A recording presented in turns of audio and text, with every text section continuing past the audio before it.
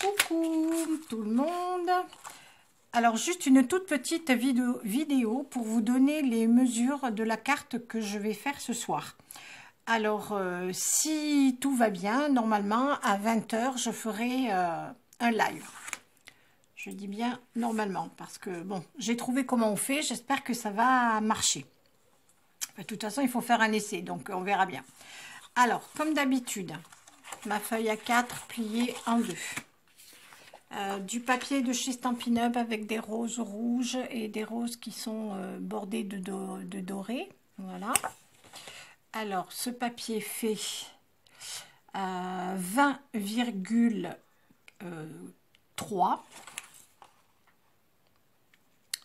par 14,3 parce qu'en fait je ne veux pas qu'il y ait beaucoup de, de marge là je veux qu'il y ait juste un petit peu Ensuite, il vous faudra un papier doré qui fait 19 par 13 et un rouge qui fait 18 et demi sur 12 et demi. Voilà. Il faudra deux morceaux de ruban ou quelque chose pour décorer. Vous voyez, moi j'ai ça qui est un petit peu avec des, des mailles, de la maille des espèces d'alvéoles d'abeilles. Voilà, donc il en faut deux. Ou alors du doré, hein, du ruban doré, ça ira très bien aussi. Hein. Et là, il fait 25 cm. Parce qu'on le rajustera un petit peu après. Ensuite, un morceau de papier blanc. Moi, ça, c'est du canson.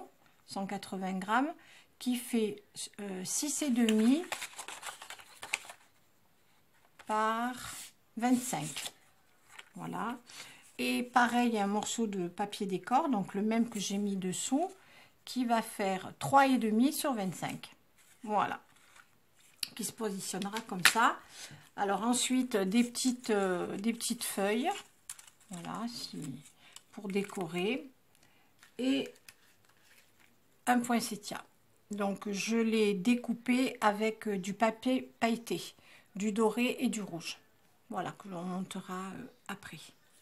Voilà, donc si ça vous intéresse, euh, ce soir, normalement, à partir de 20h, euh, on fera un live pour faire cette, cette carte. Voilà, et eh bien, je vous laisse, je vous souhaite une bonne après-midi et puis peut-être à tout à l'heure.